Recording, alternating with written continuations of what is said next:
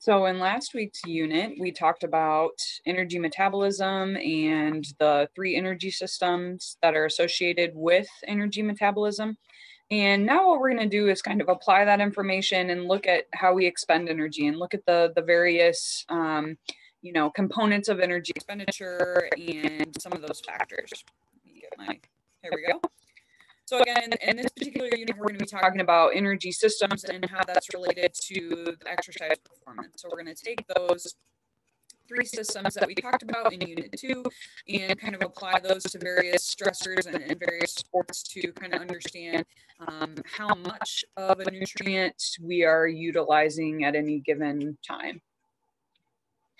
Okay, so again, you know, as we kind of talked about in our last unit, energy is the capacity for us to do work. Um, and energy can't be created or uh, destroyed. It's dynamic, it's related to change. So um, basically, what we're doing when we use energy is we're transferring energy from one form to another. Okay, so again, bioenergetics has to do with the flow and exchange of energy within a given system. So essentially, we're going to take the energy from food that we consume, convert it into various forms within the body, and then be able to use it in a variety of situations.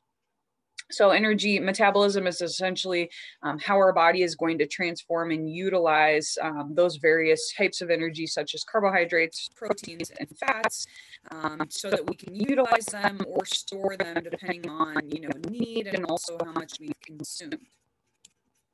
So there are three different uh, types of work associated with, you know, how we're expending our energy. So we have um, mechanical work, um, which we'll look at um, next in this um, unit. Um, we have transport work, and again, um, we'll be talking about those, oops, sorry, in the upcoming slides, and then lastly, chemical work. Okay, so the three types of biological work, transport work, um, chemical work, and mechanical work. Okay, so let's take a look at these. So first thing we'll look at is chemical work. So again, what chemical work is, is essentially the energy needed in order for us to modify um, structures from a chemical standpoint in order for us to store them or utilize them. Okay, so let's take a look at some examples of how we use chemical work on a day-to-day -day basis. So we have amino acids, we have sugar or glucose, and we have fatty acids or fat. Okay, so again, those are the three macronutrients that we have consumed. So proteins or amino acids, glucose or sugar, and then our fatty acids or those fat molecules. And these arrows are showing us um, how we can convert these products into, you know, different chemical configurations.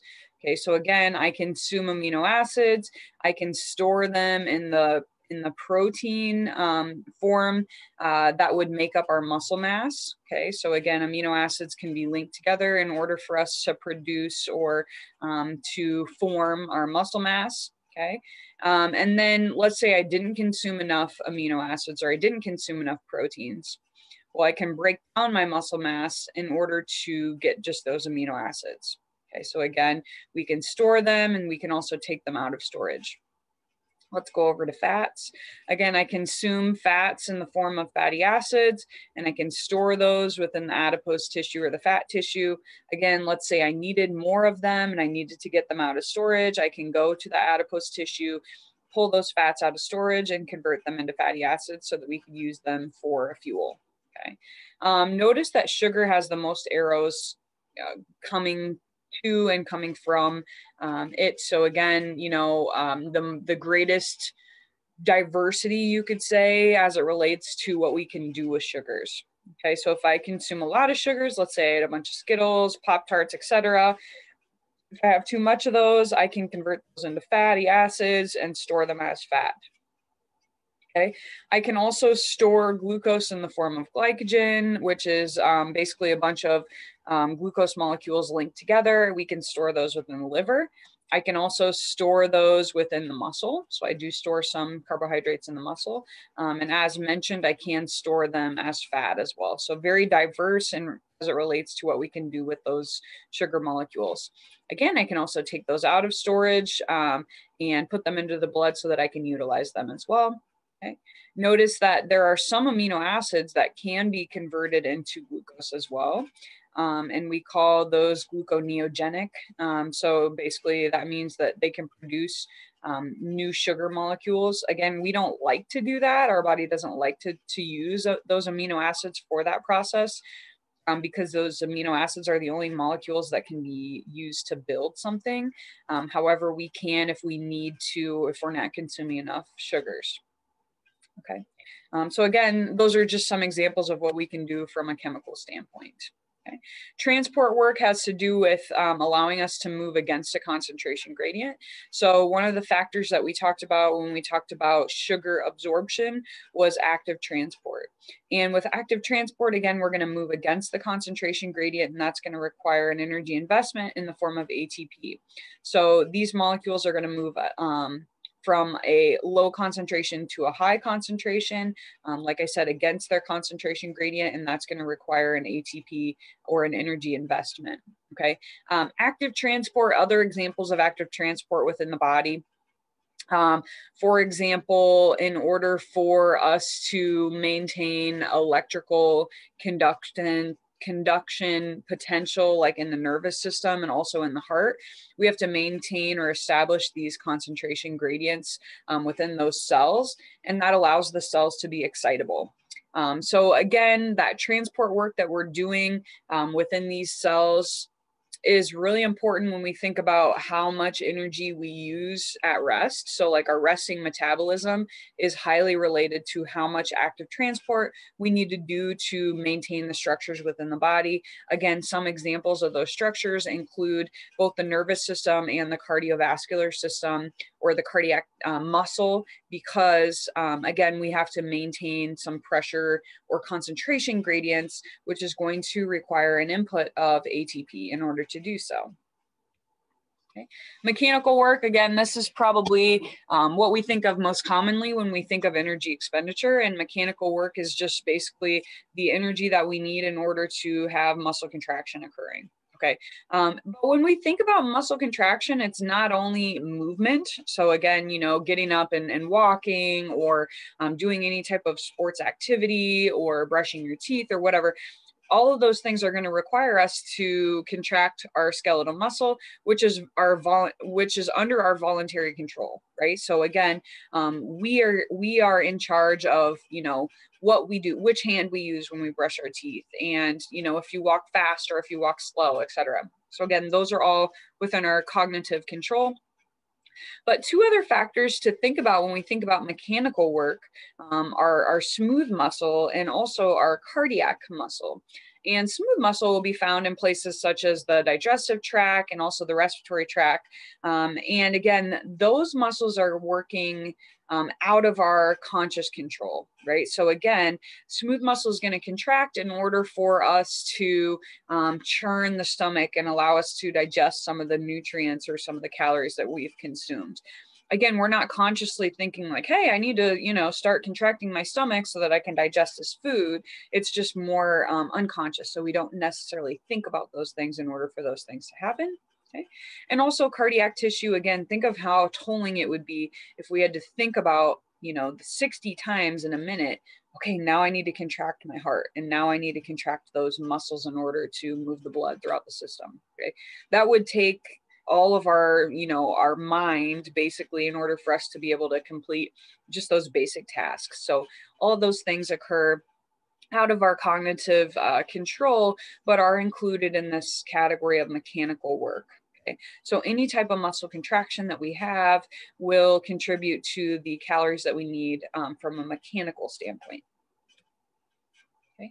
Again, when we think about metabolism, basically what we want to do is we want to sum up all the energy needs associated with each of those processes. So again, how many calories do I need in order to complete um, chemical work? How many calories do I need in order to complete transport work?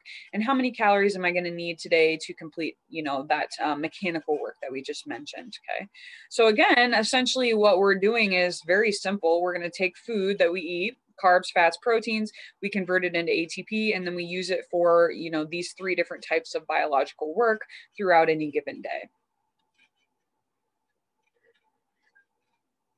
So one thing I think that's that's interesting and really, I guess, really fascinating, and in my opinion, is this idea of ATP. And again, think of ATP as kind of like your your dollar, right? And I need dollars in order to, um, you know, complete all these tasks that we talked about. So in order to do work, I need to have energy, and ATP, like we said, is kind of the most basic form of energy that we have. However, what's interesting about this is, you know, we think about our bank accounts. Well, hopefully you have enough money in your bank account that you can do all the things that you need to do. You need to, you know, buy groceries, you need to pay your house mortgage, you need to buy gas, etc. So all of those things you have enough money in your bank account in order to do so, right? But with ATP, we don't really have very much available. We have very little available of ATP, okay? We only have enough ATP to do like about three seconds of, of maximum work. Okay. The rest of the ATP that we use, because certainly we use more than three seconds worth of work, ATP, um, in any given day. So, what this tells us is we're constantly um, pulling energy out and converting it into ATP. Okay. So, we must constantly be producing ATP in order for us to continue to do work throughout our general day. Um, again, I would say that's very different than, um, you know, thinking about money. Like I don't need to liquidize my assets. I don't need to, um, you know, get money out of my stocks and bonds or something like that in order to pay for groceries each week, right? But with ATP, we do need to do that, right? We have to liquidize um, some of these nutrients that we have stored in order to get this currency available and ready to go. And so we're constantly doing that this slide I think is really cool. I like images. I like the arrows. Um, I like, you know, kind of like a um, the visual here, but don't get caught up on everything that's going on. What I want to accomplish with this slide is just um, have us really appreciate all that's going on in order for us to metabolize food, in order for us to use that energy on a day to day basis. Okay, so again, we look at our diet, we're consuming fats, we're consuming carbs, we're consuming proteins, and then we can do all these different things with them, right? So again, those proteins can be broken down to amino acids. We can store them um, within the body uh, as a protein. So, again, that's going to be generally found in the muscle mass. We can also keep them in something known as the amino acid pool, which basically means they're readily available for us to do some different things with them. Okay. Um, again, we look at carbs, we're going to break those down into glucose. If I overconsume glucose, I'm going to store it as fat. Um, if I have, you know, just the right amount, I'm going to put that glucose in what's called a glu- our glucose pool. And with that glucose pool, I can store some in the form of glycogen. Um, I'm going to use some in order to fuel my brain. Um, I'm going to use some to fuel um, my tissues, like the, the muscles and things like that throughout the day. Um, and as we mentioned, I might store excess amounts of glucose within the fat. Okay. Again, fats we're going to break down into free fatty acids. I can put them into this free fatty acid pool. I can store some and I can also use them um, from a metabolic standpoint as a fuel. Okay, so again, don't get caught up in, in some of these terms again, like glucogenesis just um, tells us that we're producing um, glycogen molecules and things like that. So don't get caught up on these terms. Just appreciate that there's a lot of things going on here, that the system is extremely dynamic in nature, that we're constantly converting things into various forms in order to provide us with the appropriate amount of ATP. So again, this should be a review from uh, lecture number two, but we've got those three energy systems. We have the ATP CP system, which is creatine phosphate or phosphocreatine system. Again, when we think about the duration of the system, it'll last us anywhere from one to, I would say 12 seconds. I think 20 seconds is too much um, here. But again, this is our highest intensity type of, of energy source. It's anaerobic in nature. It doesn't require oxygen. Um, we can get this ATP from um, what we have stored in the muscles. And again, I said that might last us five seconds. Um, this slide says that it lasts us one to four seconds. And then we're going to have to use that creatine phosphate in order to regenerate the ATP within that given muscle. Um, again, this pathway in general will last us approximately 10 to 12 seconds. that second energy system known as the lactic acid system, anaerobic glycolysis. Um, you know, those terms can be kind of used interchangeably. This system will last us approximately, um, you know, up to two minutes, 90 seconds to two minutes in duration. Again, anaerobic in nature, so it doesn't require oxygen. And what, where are we getting these fuels? Well, we're going to get them from sugars. Okay, so we're going to use glycogen, which is our storage form of, of sugars, um, in order to get the system up and running um, we are going to produce lactic acid or lactate, which we know is, is kind of a threat for us as we think about, you know, these waste products associated with the system. Again, this system is kind of intermediate in power um, and intermediate in, in regards to its total capacity for work. Um, and so that's kind of that intermediate system. And then lastly, we have the aerobic system um, can last us really an infinite amount of time. So again, we could do work from an aerobic standpoint for many, many hours. Um, aerobic means that it's using oxygen in order to do so. And this is the only system of the body that we can use fats, we can use proteins, and we can certainly use carbs. Okay, these top two systems, we're only using carbohydrates, and it's not until we get to this aerobic system that we're able to utilize fats, we could also dip into proteins. Again, we don't want to do that, but we could if we need to. Um, and we can certainly use carbs in the system as well. So this is interesting. So this takes a look at uh, percentage of our total energy um, and what's going on as we think about time. So, one thing that I think is important for us to remember is that in reality, we're using all three of these energy systems at any given time. Um, however, when we say, you know, this system is in charge for, you know, the first 10 seconds or whatever, what I'm saying is this system is the dominant system during that time. Okay, so again, here you can see, you know, I'm starting an exercise bout in that first 10 to 12 seconds this ATP phosphocreatine system or this phosphagen system is really dominating. Almost 100% of our energy can come from this particular system. As I stretch myself out to that kind of that 20 second mark, now you can see kind of the overlay. I've got all three systems contributing. Um, I've got an equal contribution of the phosphagen system and this anaerobic glycolytic system or this um, lactic acid system. So again, you know, you've got um, both both of those uh, systems providing energy for that particular scenario as I kind of increase uh, the amount of time that I'm doing the exercise, let's get us to 60 seconds. And notice that I'm using primarily the glycolytic system, but you can see that the aerobic pathway or this oxidative system is also on the rise. So it's con continuing to provide us with energy as the time um, increases. Okay. Now I get to 130 seconds or a little over two minutes in duration and notice that about 80-ish uh, percent of our energy is now coming from the oxidative pathway and maybe 20-ish um, or 25, somewhere in that range, 20% of our energy is coming from the anaerobic glycolytic system. Okay. Um, if I were to extend this chart out, we would see that the glycolytic pathway is going to dip down even further and we'll go to almost exclusively relying on that oxidative system as we continue to increase the duration of the exercise. Okay. So again, you know, we we talked a little bit about, you know, the types of work that we can do within the body, but let's take a look at, you know, what's going on from a caloric standpoint, right? How many calories am I burning in any given day? So my energy expenditure, how many calories I need for any given day is going to be based on three variables. So number one, resting metabolic rate, um, also known as basal metabolic rate, um, accounts for about 60 to 75% of our total energy expenditure we have something known as the thermic effect of food, and this will account for about 10% of my total um, daily energy expenditure. Um, thermic effect of food is basically the amount of calories I need to um, invest in order to break down um, the foods that I've consumed and absorb them and get them into the appropriate state, um, depending on the needs of the body. And then thermic effect of activity, this is the energy I need to do any type of activity that's above just sitting still. Okay, so again, thermic effective activity um, would include any type of physical activity. So not exercise, just physical activity. So physical activity might in, include um, me playing with my kids tonight. Um, it might include me walking to and from my car.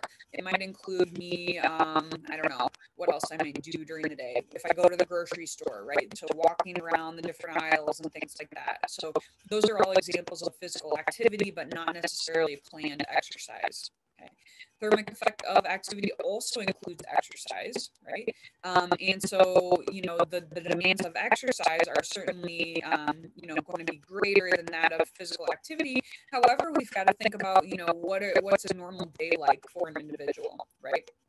So again, let's say I was waitress, for example. Um, my thermic effective activity might be really high, yet I might not do any actual planned exercise. I'm just simply walking around a lot as part of my occupation, as part of my job.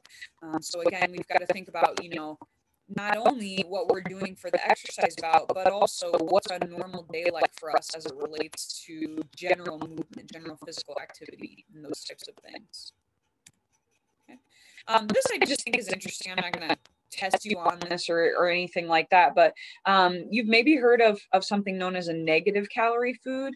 And again, on the previous slide, we mentioned a component which was the thermic effect of food. And again, the thermic effect of food has to do with how much of an investment I need to make in order to digest and absorb certain nutrients. And all of these foods, these negative calorie foods, are foods that have a higher investment than they're actually than their actual caloric value okay? So what i'm saying is if an apple gives me a net calorie gain of 40 calories for example okay it might cost me 50 calories in order to break down and absorb and, and actually utilize those calories okay? So what i'm saying is i'm burning more calories by eating it than the net calorie gain of that particular item Okay.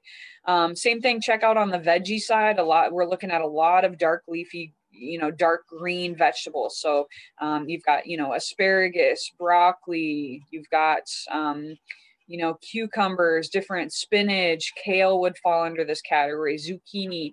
Okay, so again, a lot of dark green um, vegetables certainly fall into this category. Now, one thing to keep in mind when we think about both the fruits and veggies on these lists in order for them to be negative calories, they have to be raw. Um, so we have to eat these items raw. Um, certainly, you're going to eat an apple raw, but you know, let's say, like for example, I'm not going to eat asparagus raw. I'm going to cook it, and I'm going to cook it um, with olive oil and you know a little salt and pepper or something like that. But the cooking of those items um, causes us to lose some of that investment, if that makes sense, right?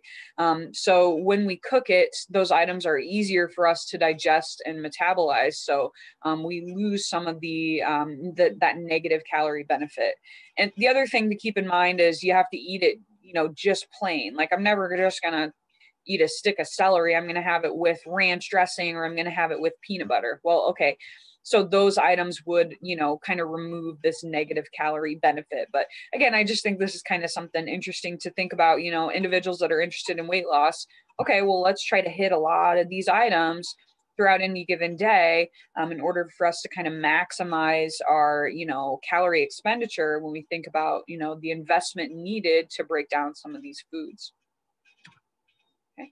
um, you know, one of the other factors we said was resting metabolism or basal metabolic rate.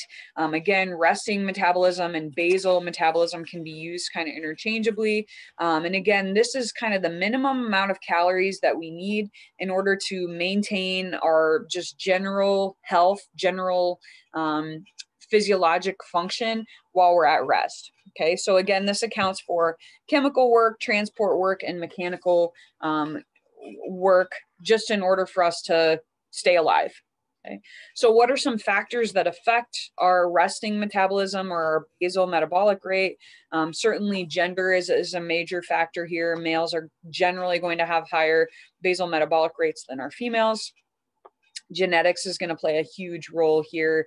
Um, again, you know, some people will be able to burn, you know, 1400 calories easily at rest without doing anything. Um, my little brother never, you know, works out, never really eats healthy or anything else like that, but he's always going to have a six pack. Okay, he's just got good genetics, right?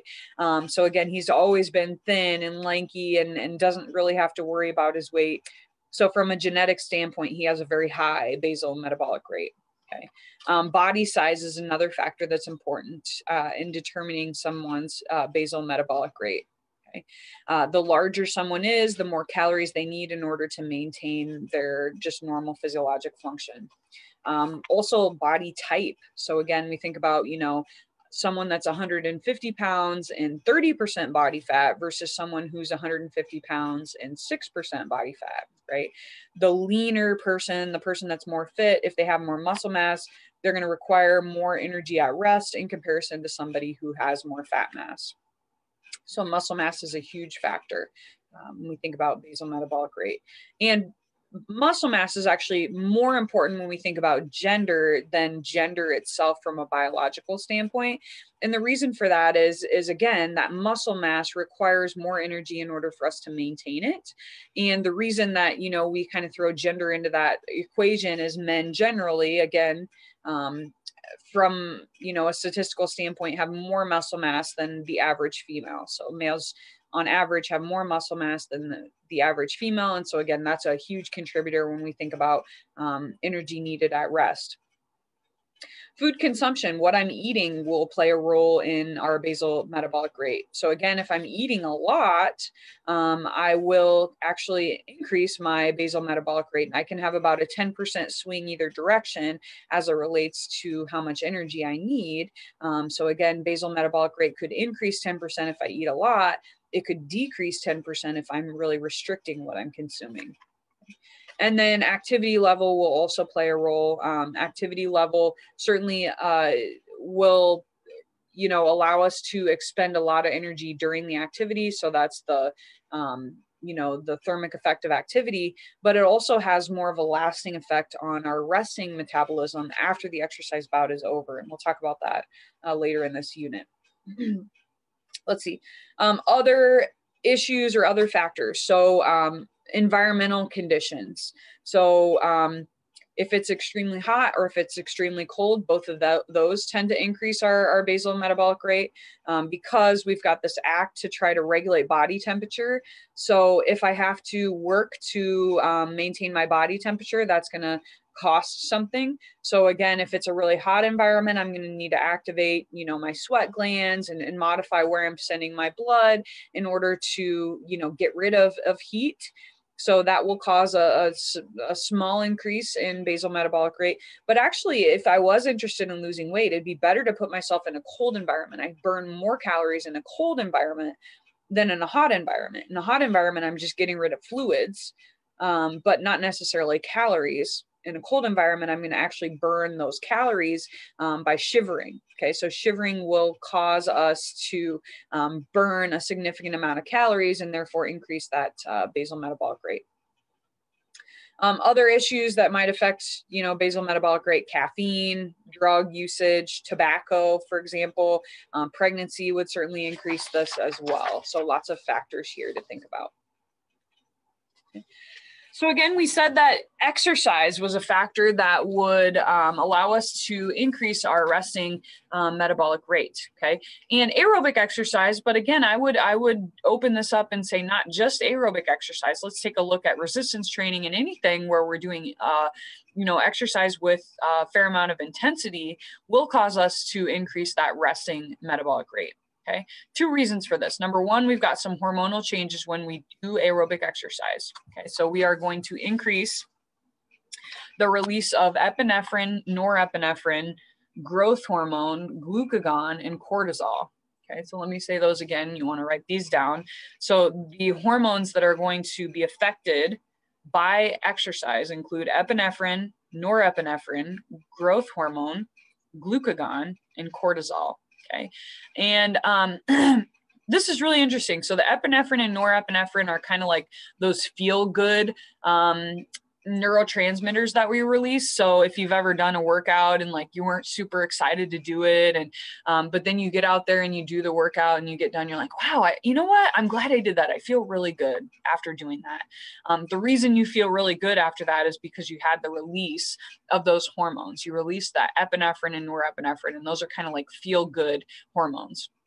Um, The other reason that we are seeing an effect of our resting metabolic rate as it relates to doing regular exercise is we have an elevated metabolic rate immediately following exercise. And this is pretty freaking cool. This is called EPOC or excess post exercise oxygen consumption. Okay, so let's look at what's going on from a metabolic standpoint when we do exercise. Okay, so here on this axis, you can see minutes of exercise, and here you can see oxygen consumption on the y-axis. Okay? So this is showing us up to seven minutes, and the exercise bout itself is occurring from about 45 seconds to like 5.30 or something like that. Okay. When I begin exercising, I have an immediate need for oxygen, which is going to create something known as an oxygen deficit. So I immediately need oxygen because I started, let's imagine that I'm jogging. Okay. So I start my jog and I immediately need oxygen. However, this red line shows us actual oxygen consumption. So we know that it takes our body like a little while in order for us to like realize what's going on. Okay. So in this particular example, at around two minutes and 30 seconds, I now have reached steady state. So my oxygen demand and my oxygen consumption are matching. Okay. So this jog is a nice, easy, steady, no problem. I can maintain this pace. Okay. However, I created this deficit at the beginning of the exercise where I needed the oxygen. However, my body hadn't kind of like caught up with with that need yet. Okay. Um, this is why when you start exercise, like if you've ever gone for a jog in the first couple minutes, you're like, this freaking sucks. This is so hard. I don't want to do this. And then eventually, if you keep going, you reach a point where you're like, okay, like this is fine. I can do this. Like I, this is fine. I feel better. Right. This process is why we warm up. Right. So again, it's going to allow us to get through this deficit phase and get to this steady state phase. Okay. Um, and so then, you know, I stopped my exercise bout. And now imagine that I was running a pretty fast pace or whatever. Okay. I immediately stop my exercise bout, but I'm still breathing hard. Right. So I stop running, but I'm still breathing hard for like quite a while. Right. My need for oxygen has immediately dipped down when we think about what's going on from a metabolic standpoint. However, I'm still breathing hard. And the reason for that is this oxygen debt. And this is an extra volume of oxygen that I'm consuming after the exercise bout is over. Okay. That's this excess post exercise oxygen consumption or this EPOC is this oxygen debt. So I'm paying back what I owed over here. Okay. I'm also kind of restoring many of my energy systems in the body um, in order to get myself back to a true resting state. So what is this oxygen debt used for? Um, it's going to produce, you know, ATP or replenish the ATP that I used during that exercise. It's also going to replenish some of the muscle glycogen that I might have used during the exercise. Um, so if I produced lactic acid, it can take that lactate and it can convert it back into sugar in order to store that. Um, so we can resynthesize muscle glycogen from the lactate. Okay. Um, again, I'm going to restore my oxygen levels within the blood. Um, and I'm going to begin to work to repair any muscle damage that occurred during the exercise bout.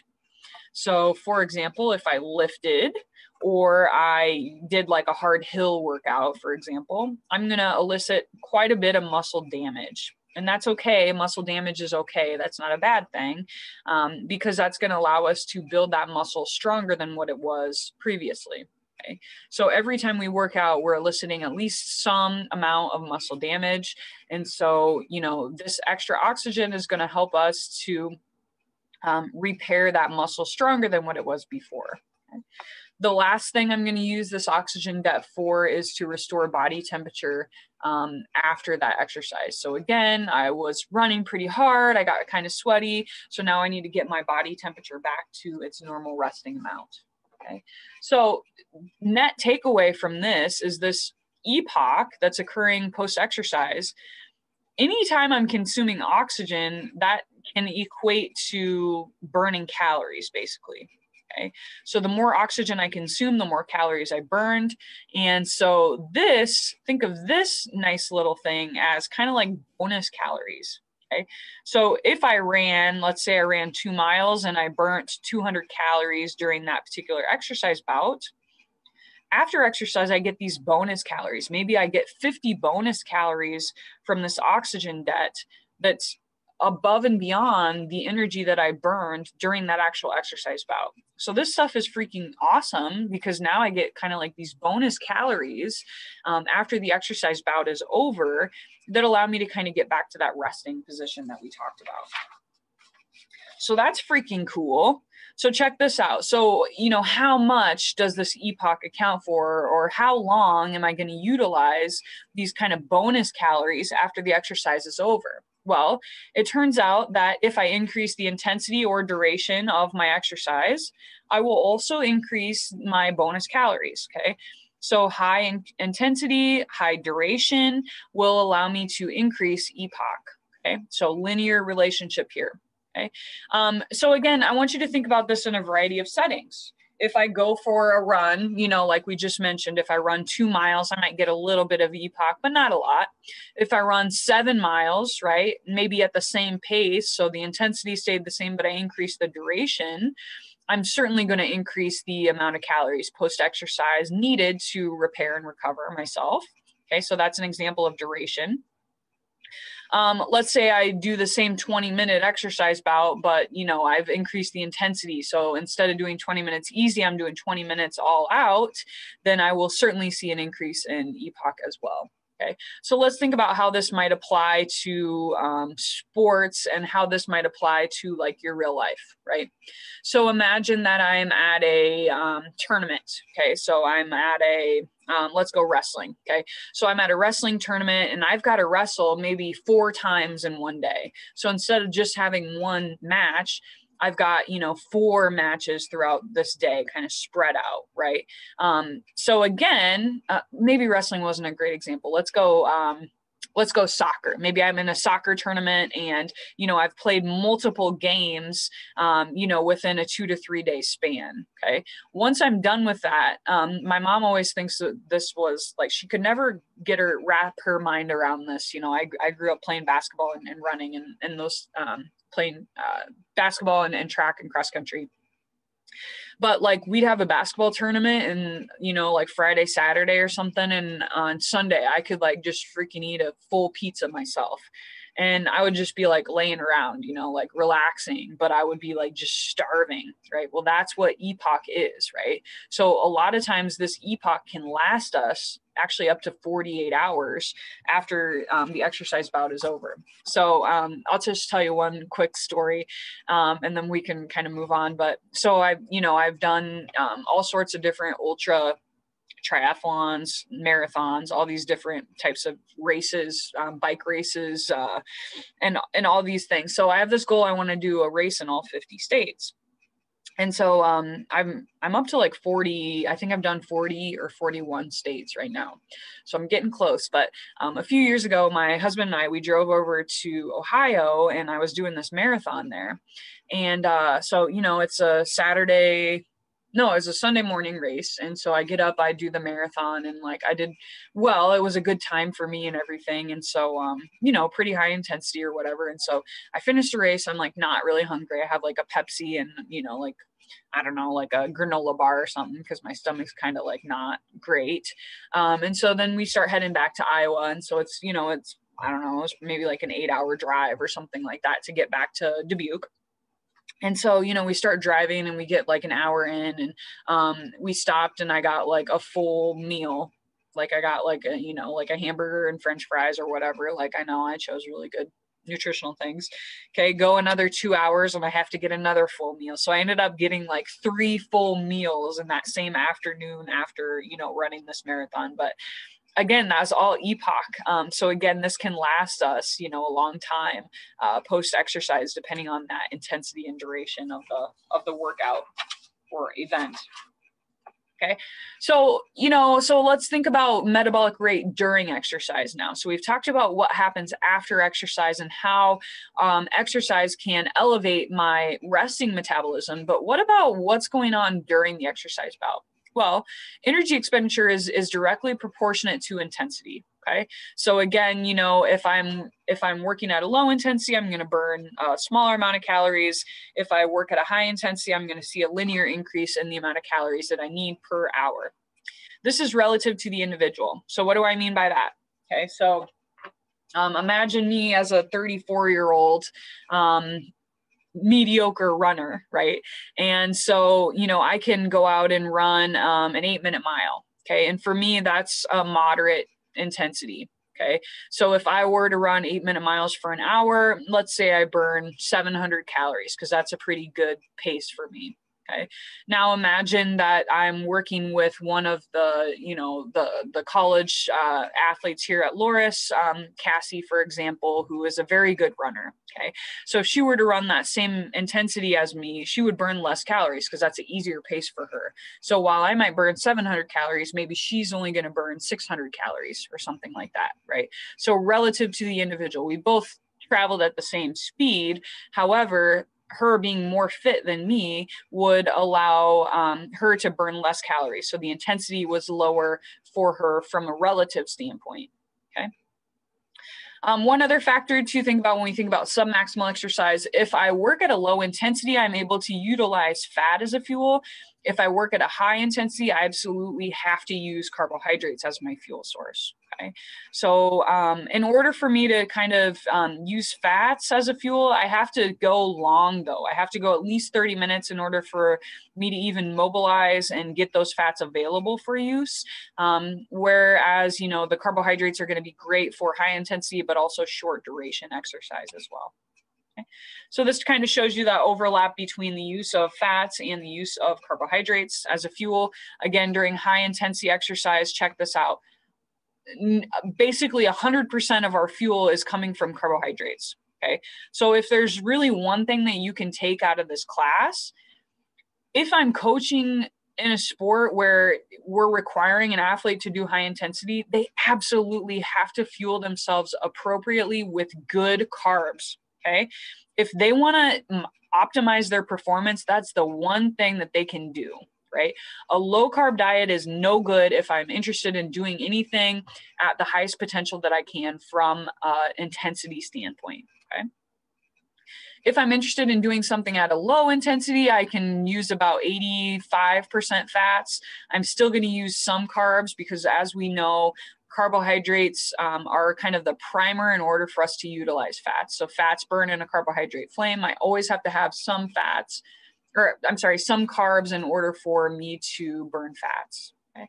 Intensity of about 60%. Here you can see this crossover. So I'm getting about 50 and 50 um, as it relates to, you know, carbs percentage and fats percentage. Okay. So again, when we think about maximal exercise, as I already mentioned, really one key takeaway I want you to get from this class is we absolutely need carbs if we're interested in working at our highest potential. Okay. So we're completely reliant on carbohydrates as an energy source during maximal exercise. Don't make your body work harder than it has to, right? Give yourself the appropriate carbohydrates leading up to exercise in order to fuel yourself so that you can work at this highest potential. Energy is extracted from that ATP phosphocreatine system. We're also going to use anaerobic glycolysis.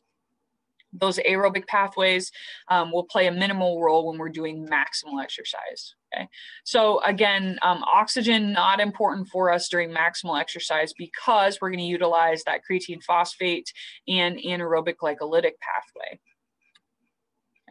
So, what limits us during maximal exercise? So, again, when we think about um, from a nutritional standpoint or from a metabolic standpoint, what are what are kind of our limiters for us? Okay, so during maximal exercise, what you know.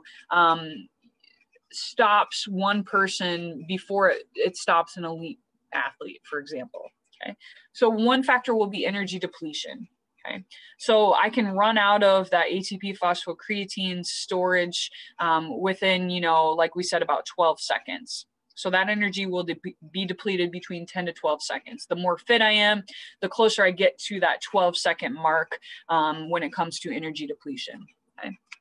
Um, from that anaerobic glycolytic system, we're not ever really going to run out of carbs um, as long as we're fueling appropriately. We're not going to run out of carbs with that in that anaerobic glycolytic pathway. The limiting factor for us in that pathway is the buildup of waste products. So as I, you know, do that anaerobic glycolytic pathway and I start to produce more lactate and I start to produce more hydrogen molecules, that acidity within the muscles, that is a limiter for us. Okay. So again, if I'm using kind of that intermediate system, it's more likely going to be the buildup of waste products that stop us as opposed to within that ATP phosphocreatine system. Um, our limiter might be, you know, um, having that fuel available. So the availability of the, the fuel source. Okay.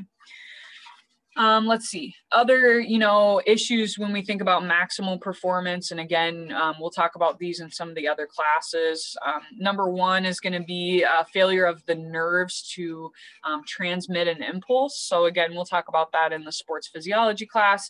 And then you know man we think about pain tolerance and some of those factors. I love talking about that stuff. So psychological limits to performance as well. You know is an elite athlete different from a physiological and a metabolic standpoint? Yes, absolutely. But from a psychological standpoint, they also have the upper hand, right?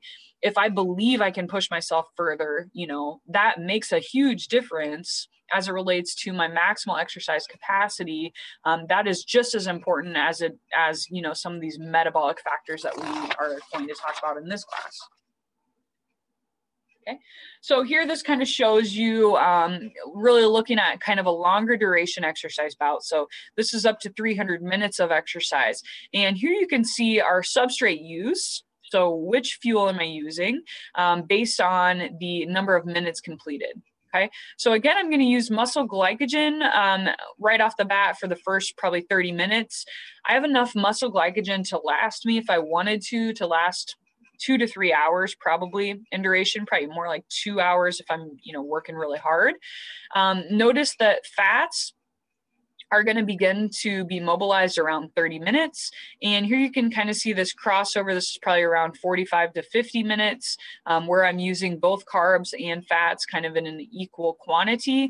And as I continue that exercise bout, if I'm going to work out, you know, two, three hours, something like that, the use of fats is going to continue to rise um, as the duration of the exercise increases. Okay, so when we think about glucose metabolism or sugar usage, um, again, we said sugars or carbs are going to be our primary fuel source during high intensity exercise. So how can we increase um, how much sugar we have within a given muscle, right? How can I kind of enhance my maximal capacity to utilize carbohydrates?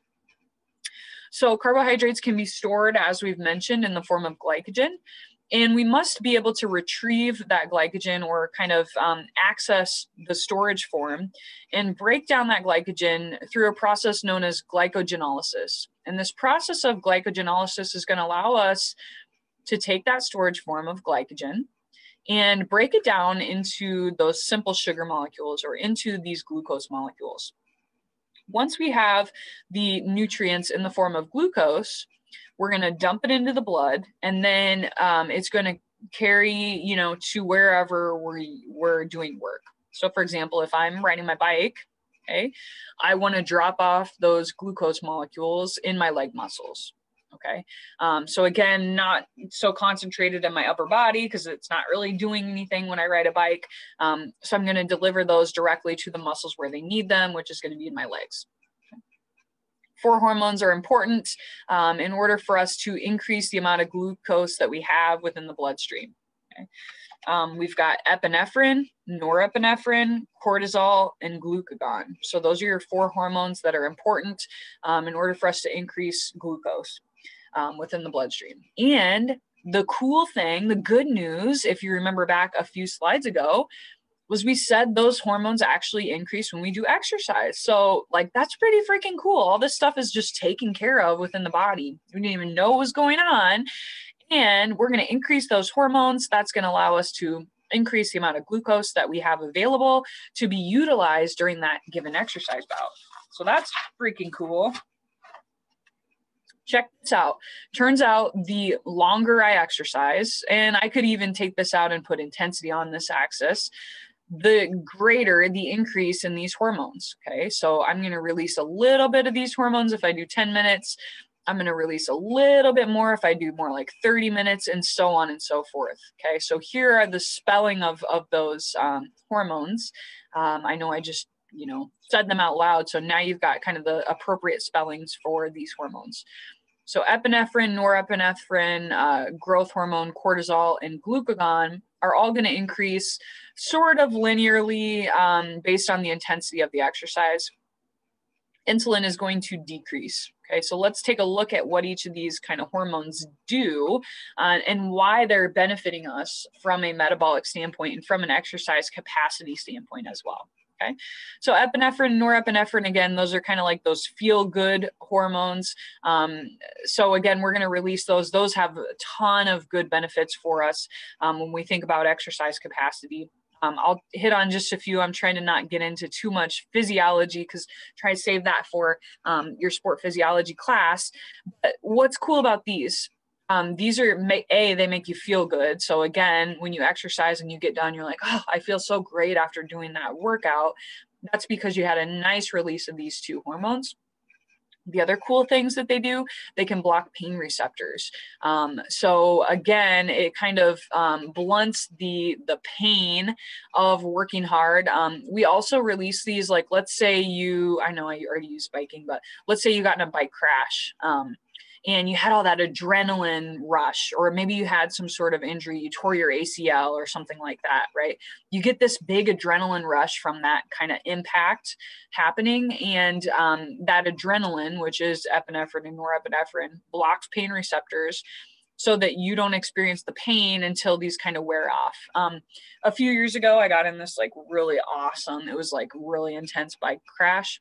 Um, I was going too fast. I was on this like hairpin turn and it was kind of wet and I was I'm kind of like I'm a little bit like reckless like I don't have any fear at all um, which is which is great when you mountain bike um, but I also then like crash sometimes but anyway so a few years ago I, w- I was I was riding too fast on this um, windy road and got got to this hairpin turn and it was wet because it had just rained and my bike came out from underneath me and I went flying off my bike and I was going pretty fast and uh, um my entire leg i had on shorts. My entire leg was just like totally raw and skinned up and this guy in this truck. Like stopped like oh my god um do you want me to drive you home? I'm like no i'm fine. My bike's fine. I'm gonna ride home. He's like okay well i'm just gonna follow you home because you do not look okay and I'm like, whatever, dude, it's fine. And so I like ride home and um, this guy follows me and I make it back and everything. And um, then I like get in the shower. And by that time, like the adrenaline, this has worn off. And then I was like just bawling because it was just throbbing and it hurt so bad. It was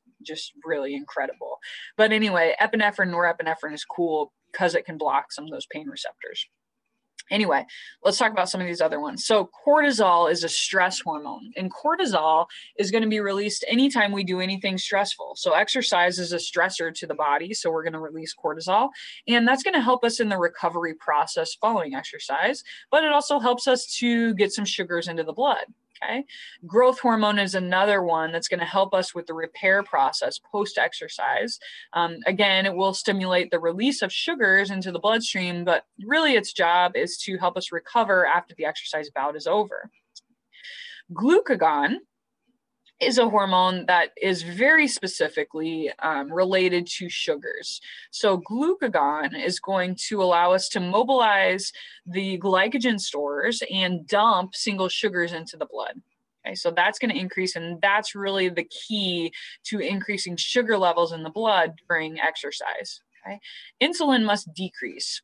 And insulin's job is to help us to store sugars. So generally, we release insulin after we eat a meal. So let's say I have my peanut butter and jelly sandwich that I'm going to have for lunch. If I eat that here, um, I'm going to release insulin, and that's going to help me to take those carbs that I consumed that are in the jelly and in the bread and put those into storage. So that's going to allow us to store things. So glucagon and insulin work in opposition. Okay, so I never want to be releasing them both at the same time because that's inefficient. Okay, so glucagon is going to help me to use sugars. Insulin is going to help me to store sugars. So I want to only be doing one or the other at any given time. And so during exercise, I increase glucagon, which is going to help me to get sugars out of storage. Okay. So now let me tell you more of this story. And I think I'm going to draw you a little picture so that we can understand in a little more detail how insulin works. Okay, this is my bloodstream. And this is like a little cell. Okay, so I eat like my um, peanut butter sandwich, and now I've got all these little sugar molecules floating around in my blood. Okay. And so, in order to get those into storage, I have these little like gates. Imagine this is like a little door. And insulin, see if I can draw an eye here, is the key to unlock this door. Okay. So I eat my sandwich, I've got the sugar in the blood, insulin is released, and that's going to allow me to unlock the door. And as I unlock the door, the sugars can come into this cell so that I can store them. Okay.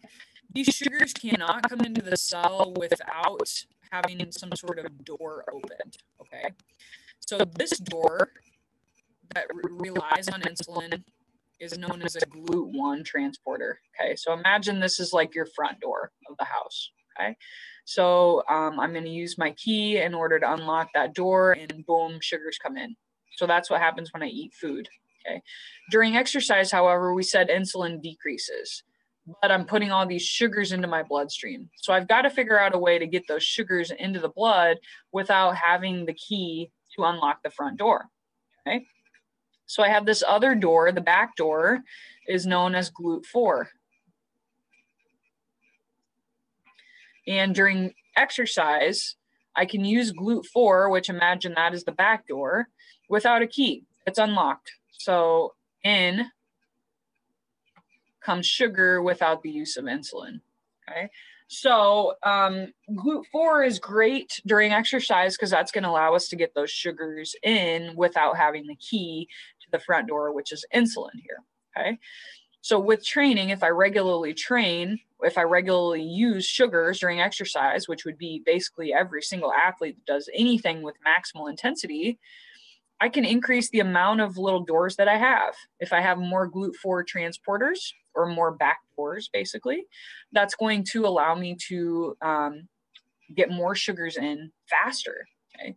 The more sugars I can get in, the faster I can get those sugars in, greater my exercise capacity, which is great news. That's why we train so that we can manipulate some of these factors to increase our capacity to do work. Okay, so that is good news for us as it relates to um, energy metabolism and the use of glucose. This GLUT4 transporter is insulin independent, and that will allow us to get sugar into the cell during exercise. Well, what about fats? So again, we talked about fats being um, a contributor for fuel or energy metabolism. Again, um, very slow to be activated. It takes 30 to 45 minutes for us to really start mobilizing fats and using fats. Okay. So in order for me to use fats as a fuel, I need to do exercise that's at least 30 to 45 minutes, moderate to low intensity, to even use those fats, to even mobilize them. Okay. So who cares about lipids? Well, really only prolonged athletes. So endurance athletes, um, they'll be an important fuel source, not during their races, most likely, but during some of their training. Okay, so during some of their training, um, you know, prolonged lower intensity exercise, I'm going to use fats as a fuel. Okay. Very slow to be activated, um, but it's very critical for endurance exercise. So, again, you know, if I'm doing something, let's say an hour or greater in duration, that will allow me to kind of really start to use some of the fats as a fuel source. So how does this work? It's the process of lipolysis. So lipolysis allows us to break down fats that are stored in the fat cells and we're going to break those down um, into ATP eventually. Okay. Um, so again, what's cool about fat metabolism during exercise is once I once I've kind of activated fat metabolism, I'm mobilizing fat from everywhere in the body. Okay. So again, let me use my example of, of biking. Let's say I'm going to go for a two hour bike ride, right? Um, I'm not just going to use fat that's stored in my leg muscles, even though my leg muscles are the, the ones really doing the work. I'm able to mobilize fat from literally everywhere in my body, and I'm going to dump that fat into the bloodstream, and then it will be carried to the muscles in my legs so that I can use it during that exercise bout. Okay, so that's freaking cool. I'm able to mobilize fat from really everywhere in the body, not just the location of where I, you know, am using the muscles. Okay, um, so so fat metabolism is is allowing us to kind of activate um, activate fat that's everywhere in the body. As we mentioned uh, in in last week's unit, you know, fats burn in a carbohydrate flame. So in order for me to use fats, I have to have that carbohydrate primer. We talked about a recipe. We talked about chocolate chips and how um, you know the the carbohydrates are your chocolate chips for that chocolate chip cookie recipe. I have to have the chocolate chips in order to let the recipe work Okay. Um, so I can use fats in this process, but I have to have carbs in order to prime the pump um, to allow this to work. On the contrary, I don't need fats in order to use carbs. Okay, so carbs are um, can work independently; they can do their own thing and be broken down. But fats are reliant on carbs. So fats need carbs carbs don't need fats, if that makes sense, right? So it's a really a one-way path there. Um, carbs being kind of the VIP, and fats can come in and help out um, in certain situations. Okay, um, so this is that Krebs cycle that we talked about, that recipe that we talked about. Again, um, imagine that you know one of these intermediates has to come from carbohydrates. Um, the rest can come from a variety of sources. It could be fats. It could also be proteins. So proteins can contribute um, for example, alpha ketoglutarate can come from some of those amino acids. Um, succinyl CoA can also come from um, an amino acid. So again, you know, we can contribute both fats and amino acids into the system, but we have to have carbs in order to do so. Um, as we just mentioned, you know, energy release from protein. Um, we prefer to not use protein as a fuel source, but during prolonged exercise, it's kind of um, only a matter of time before we are, you know, mobilizing and using some proteins. Probably about 10 to 15% of our energy during prolonged endurance exercise is coming from a protein source. And the way in which we're going to use that protein is a process known as deamination. And so basically what we're going to do is we're going to remove the nitrogen from an amino acid, and then we're going to dump that amino acid into the Krebs cycle. So as I mentioned, um, here's the Krebs cycle, which was that chocolate chip cookie recipe that we talked about. Alpha ketoglutarate is a great location for us to kind of enter in um, if we have an amino acid that's been deaminated. Um, some of our amino acids are known as glucogenic, which means that they can be converted into a sugar molecule um, through a process known as uh, gluconeogenesis.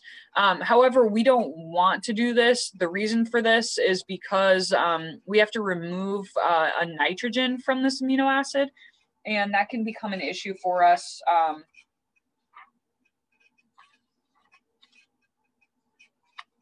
that can become an issue for us because it can lead to ketosis, which can um, negatively impact our homeostasis within the body. Okay, so again, you know, we can use amino acids. We have to remove or deaminate the, the amino acid. We have to remove an N molecule from the amino acid um, through a process known as ketosis that can affect our acidity levels within the body, and our body doesn't like to do that also, this is not very efficient um, as it relates to our energy usage. Um, we're much more efficient at using carbs as an energy source as opposed, as opposed to proteins. So can we figure out, you know, which energy source we're using and how much energy we're using at any given time? Yeah, we can. So um, for aerobic energy or aerobic metabolism, we can do something called um, a VO2 test um, or a VO2 max test. So this will allow us to determine how much oxygen we're consuming and therefore based on that information, we can determine how many calories we're burning. Okay. Um, so it can tell us what we're doing from an aerobic standpoint. However, it doesn't tell us anything about anaerobic fuel. So it doesn't um, can consider um, how much energy we might be using from the ATP phosphocreatine system or the anaerobic glycolytic pathway. Also doesn't tell us what fuel source we are using. We can do something else to determine that, and that's known as RER, or respiratory exchange ratio. And the respiratory exchange ratio can be um, measured at the same time as the VO2. And basically what we're gonna look at here is the amount of oxygen that we're using in comparison to the amount of CO2 that we're producing. Okay, and this will allow us to tell us what percentage of our calories are coming from fats and what percentage of our calories are coming from carbohydrates as it relates to energy expenditure. Um, it does make one assumption that there is 15% contribution from proteins um, into this equation as well.